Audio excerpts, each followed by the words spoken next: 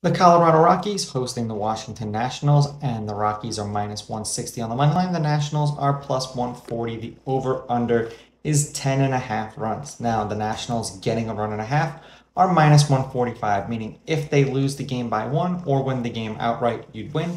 The Rockies laying a run and a half are plus 125, meaning if you bet them that way, they have to win the game by two.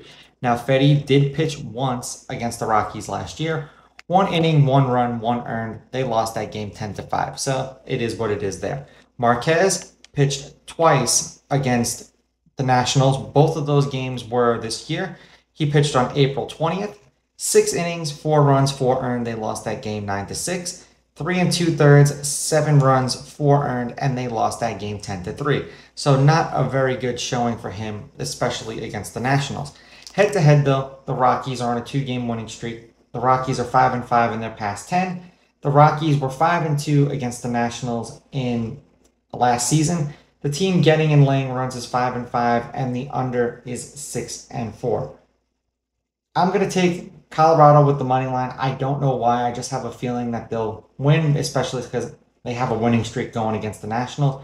I will take Washington with the runs, and I am going to go under the 10 and a half.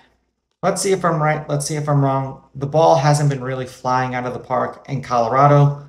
This could be the game or this could be the week where all of that starts to change because we've been seeing a lot of more games go over. Let's see if I'm right. Let's see if I'm wrong.